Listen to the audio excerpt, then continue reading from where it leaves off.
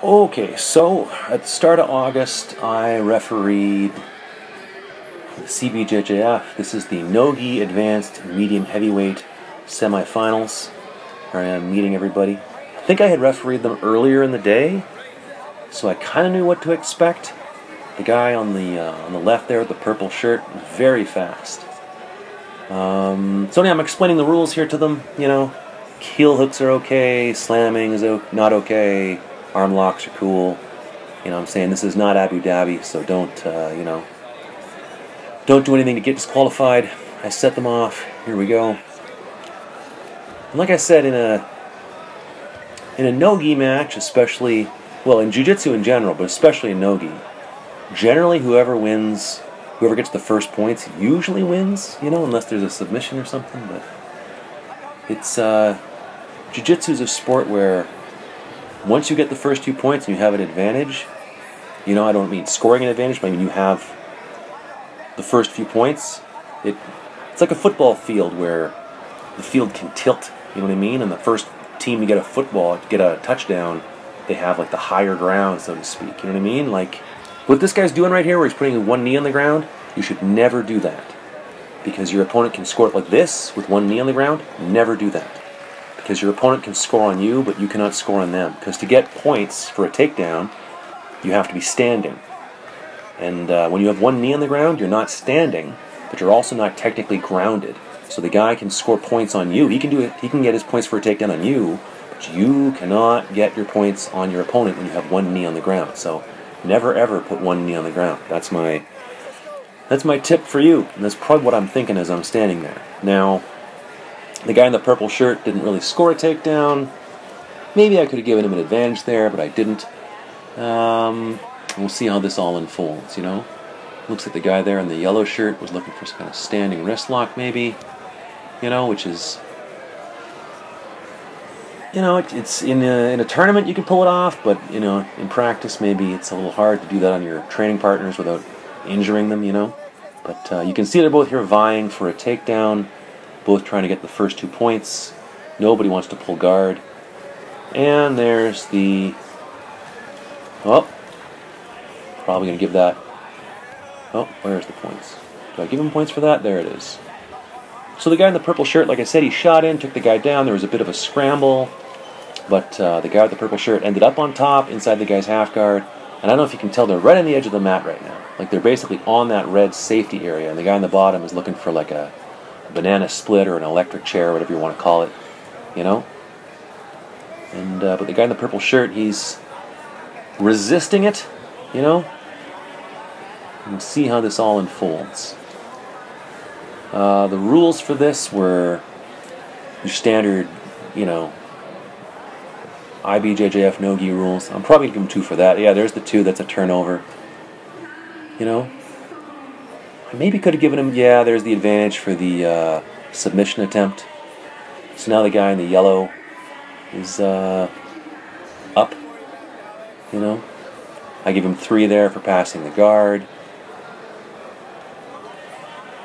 Yep, because after he swept the guy, he was clear of his guard for a minute there. Well, it doesn't have to be a minute, it's three seconds. And it looks like now he's doing a, uh, a no-gi or trying a no-gi Ezekiel choke on the guy, but it's uh, those aren't so easy to land. You get people who are like who specialize in those, like that crazy Russian guy that fights in the UFC. It can pull it off on almost anybody. But um, anyway, so now the guy on the bottom. I mean, I can't see the score, but the guy on the bottom, even though he got his first two points, he's down by who knows what. You know, a little bit right now. You know. But you can see this is the advanced division. Nobody's nobody's panicking, you know, everybody's. You can see they're looking at the clock, too. That's another sign these guys are somewhat experienced. Oh, there's his turnover. That's two. I give him an advantage for almost passing the guard because the guy in yellow got to his knees. And, uh, the fellow, uh, yeah, he's trying to. See, this is the part where you can't really see it, but like, they're kind of off. they're off. See, they're off the mat now. You know what I mean? See, I, I, I give the guy four for mounting, but then I realize, you know what? I'm like, I say, you know what? Actually, no, I'm not going to give you the four because they were like 97% off the mat when the dude mounted him, and uh, I don't want to say it was a mistake on my part, but I'm like, you know what? Take away the four. We're just giving him an advantage because you can't mount a guy when you're on the mat, the next mat. This is not that, you know. So I took away the guy's four. I just gave him an advantage, and um, then the guy in purple shoots in for a takedown, which is a really good idea, actually. Whenever a referee restarts a match, you want to be the guy that's right off the hop, scoring some points. And I think, I think they went right off the mat, so I'm probably gonna give the guy in purple an advantage. He gets yeah, because they went right off the mat again. Because to score points, you have to stay on the mat, right? Whether it's a mount and or a guard pass or a takedown, they have to stay for three seconds on the mat. You know, which is why the guy who did the mount, I took away his four and just gave him an advantage. Yeah, there's going to be another two. You know, but this one's worth two because see how they're laying on the mat. You know, that guy in the blue shirt, he's pretty quick. And you can see then in, in there's a that red area. That's that's the I don't call it the danger zone, but it's definitely the border. You know, you know. The uh, gave the guy another advantage there. I think that might have been for a guard, almost guard pass. I'm not sure. Anyway, we're starting in the middle again, and um, I think the guy on the top is uh, up on points now because of a couple of takedowns that he got there. But uh, I don't have the scoreboard right in front of me. But uh, the moral of the story here is that if you want to score points, it has to stay on the mat. If it's on the other side of the border, that's not gonna.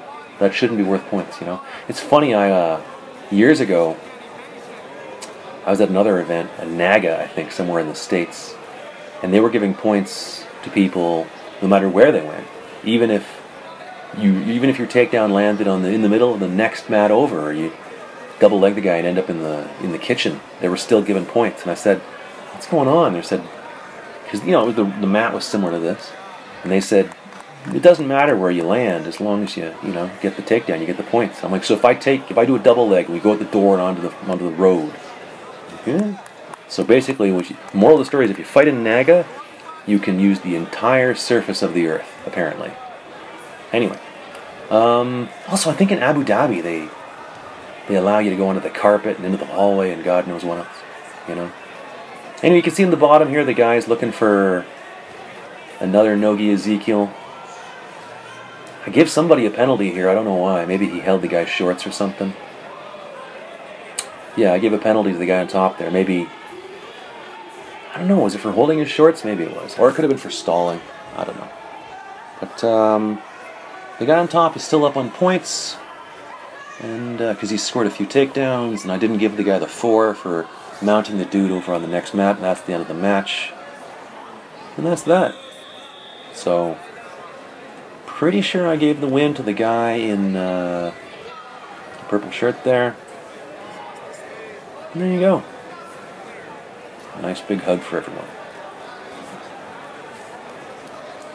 And it's funny here at the end of the match, another referee comes over to talk to me because I guess one of the I guess the athlete in yellow was her guy, and she's like, "How come you gave him the four, then you took it away?" And I was like, "Cause they were off the mat, you know." And then she's like, "But it was stabilized," and I was like, "Well, I guess you and I disagree, you know." So whatever. What are you gonna do?